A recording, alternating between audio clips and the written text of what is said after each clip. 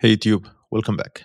Today we continue our uh, course in system design fundamentals. Today we'll talk about logging vs monitoring. What are what are the differences between both of them?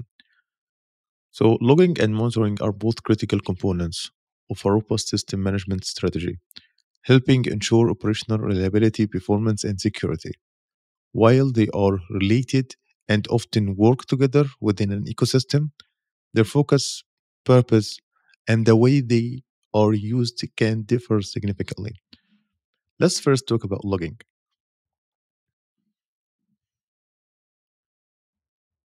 We need to answer some questions if you want to talk about logging. First, what is logging?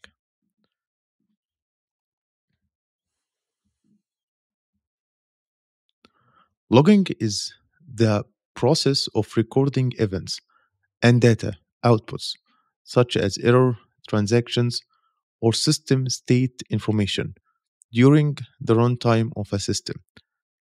These logs are stored in log files and are essential for debugging, auditing, and tracing how a system operates over time.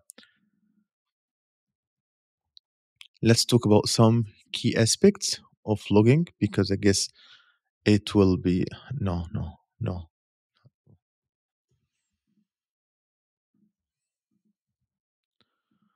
So, in terms of the key aspects, let's just make this to slide to the left of logging, not just up.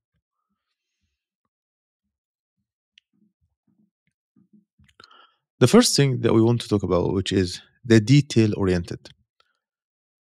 Logs provide detailed timestamps records of events that can be analyzed to understand what happened when and in what order.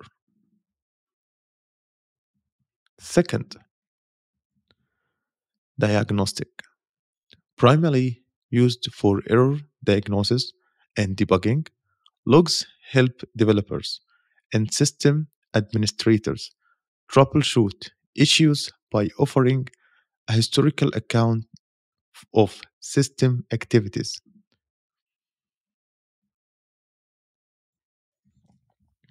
Three, audit and compliance.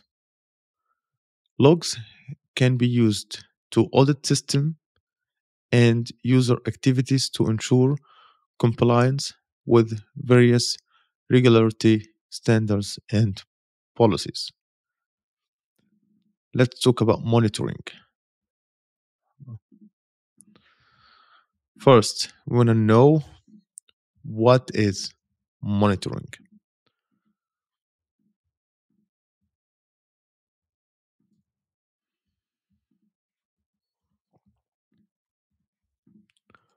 Monitoring involves the continuous observation of a, of a system's operational state and performance.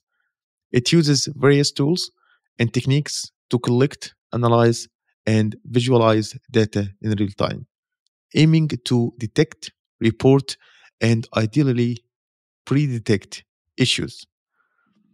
Let's talk about some key aspects of monitoring. First, we have performance tracking.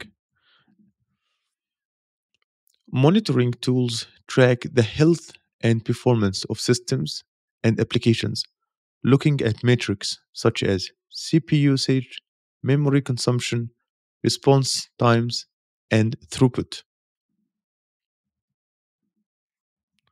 Alerting Automated alerts notify system administrators or operations teams of potential issues or anomalies that could indicate problems or system uh, degradation.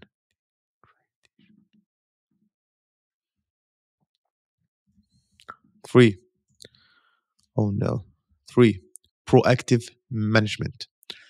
Monitoring aims not just to detect current issues, but also to, de- to uh, predict potential future problems, allowing for pre- prevent, uh, preventive measures to be taken. what are the differences right now? Let's try to talk about what are the differences. So, in order to do the differences, let's talk about some things. First, we want to talk about the focus. Logging is event oriented, focusing on the specific details of event that have occurred. Monitoring is performance oriented, focusing on the operational state and health of the system.